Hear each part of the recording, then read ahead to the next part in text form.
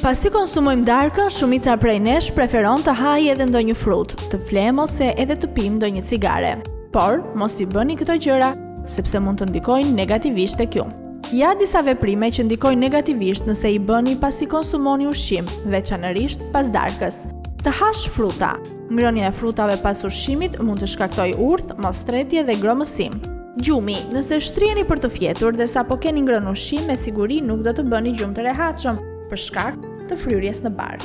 Pirja e duhanit, mos pini duhan nëse sapo keni ngrënë, pasi efekti i një cigareje është i dëmshëm sa për 10 të tilla.